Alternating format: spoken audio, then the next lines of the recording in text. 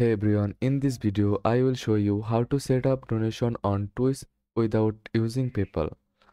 First of all, you will need a donation platform that support alternatives to PayPal. Popular options include Streamlabs, Stream Elements, or Ko-fi. This platform allows you to accept donations via credit cards, bank transfers, or other payment methods like Stripe. Many donation platforms allow you to use Stripe as an alternative to PayPal.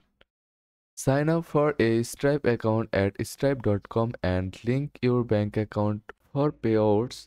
Once your account is verified, you will be able to accept credit and debit card donations. Go to your chosen platform like uh, Ko-fi, sign in and link it to your Twitch account. Set up your donation page by connecting Stripe as your payment processor. Customize your donation page and copy the donation link.